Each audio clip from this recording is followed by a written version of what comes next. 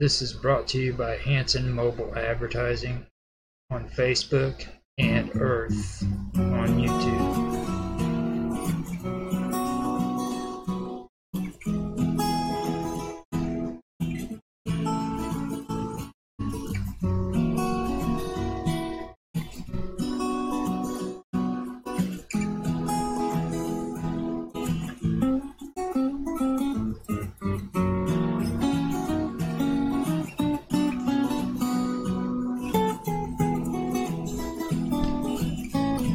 Gardening 2019 Cherry Trees.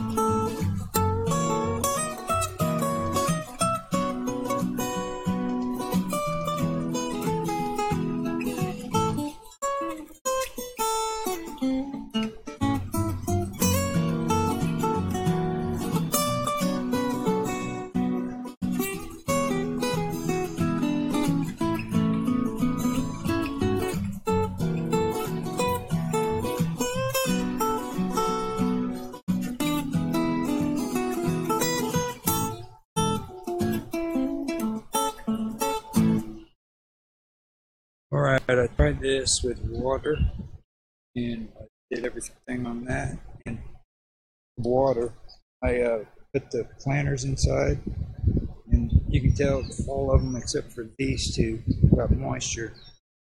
Now, when I put the water in, before I could even get it leveled, I used up three buckets of water.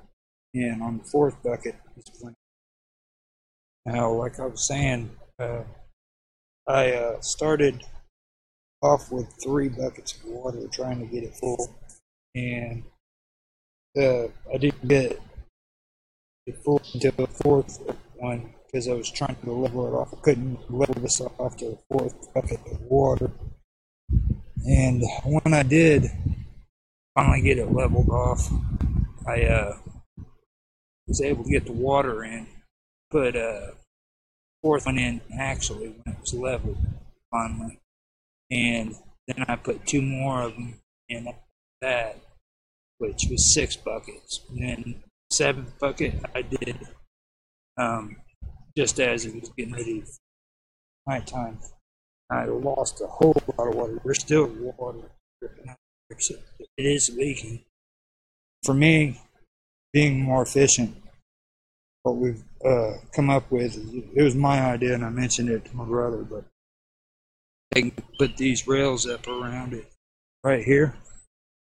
And then I take topsoil and I fill up the bottom part and put the pots down on it. And we do a slow drip water supply for this to keep it moist and it'll come up into the pots.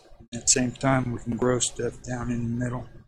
So that's what I'm going to do. I'm going to cut this wood, clean it up. This is some of the wood that I had laying around the yard that I've been wanting to use and uh, figured I would make something out of it. So after I get that done, I will get back to you and show you what it looks like. And here on the edges, we have those gaps there for a reason. If water comes in and it overflows during rain time, then we can have water back out of that where it doesn't it doesn't rise over the top of that. We've been having a lot of rain, so that's the reason why I wanted to put this edge around.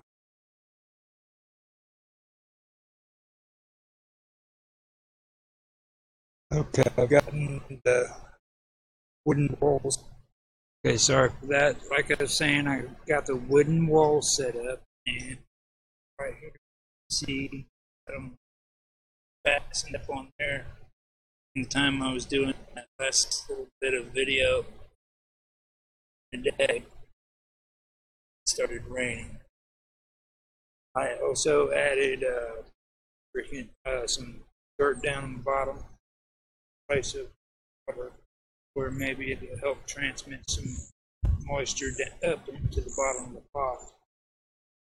I uh, wanted to, wanted to do experiment with dirt using drippers that my brother has inside. But it started raining, so it's not going to too well. But anyhow, this is the wall with a little boundary that we set up to uh, keep the dirt inside if a big uh, rain came. We that part open, and down at the other end, we did the same thing. So where if it does fill the water, gives a chance to. This is what I've tried. Not sure if it's going to work. And those lines are shorter than what I thought they were, but I wanted to give that a try to see if it could feed water to those pots to that soil down.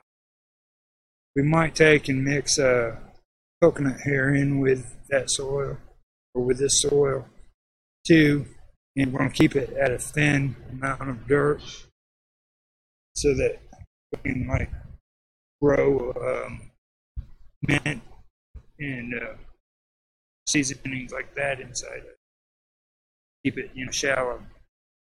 But all right, it took a day to get get this video finished, but I wanted to show you guys what it looked like.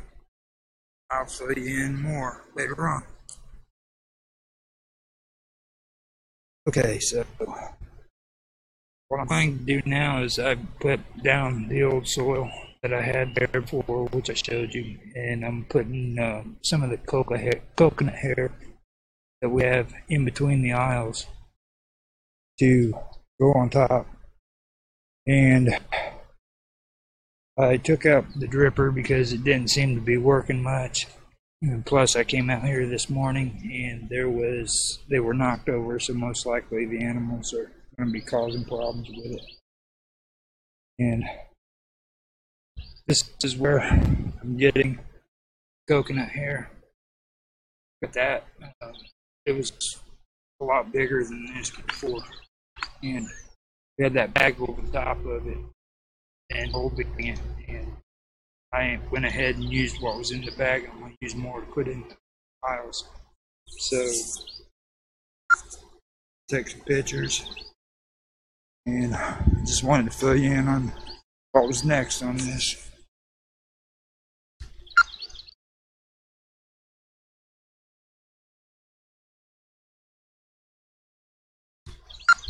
Take some pictures. Back with you on this. Okay, I put the coconut here down in with the dirt and I filled it up with some water there or bucket. Wet. This is what looks like it today.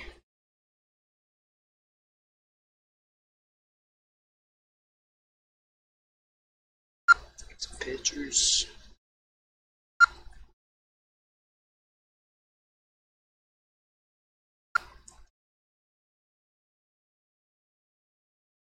Then I took and brought out all the, or the, yeah, the plant pots and everything on the.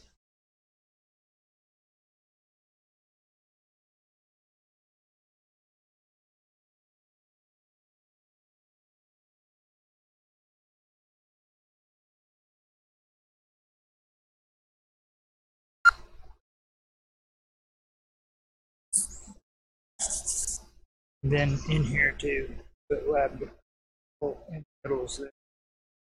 Okay, these are the progress on my cherry trees and what they're trying to grow. I don't know what those are, so I'm keep letting them grow. Got that. Got some of these. Got this right here. That might be cherry tree. I don't know. Still trying to identify them. Found there's like over a thousand varieties of cherry trees. And this is the grow bed here. Got this right here. That right there. Which I'm trying to figure out what they are. When they grew out, they kind of look like cherry trees. Keeping an eye on them. There doesn't seem to be any lavender development there. I could be wrong. Still in between on trying to identify what looks like. Rather this may just go ahead and turn this into a pepper a grow box for the peppers. This is what it looks like. A lot of this got flooded out during a lot of the storms we've had. Took some of them, put them in the porch because they look like they might have some trees growing. Trying to grow pomegranate and cherry trees. These are just weeds. got hit pretty hard. This is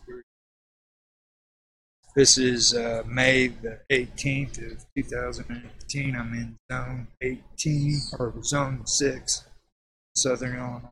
So this is Roger Hanson.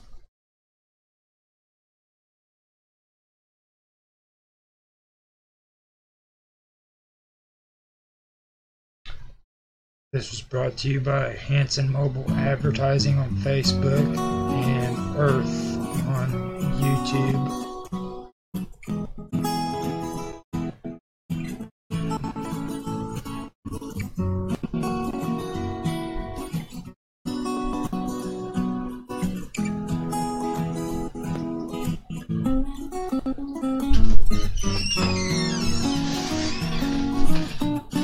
Thanks for watching. If you like the video, please like, subscribe, share, make comments.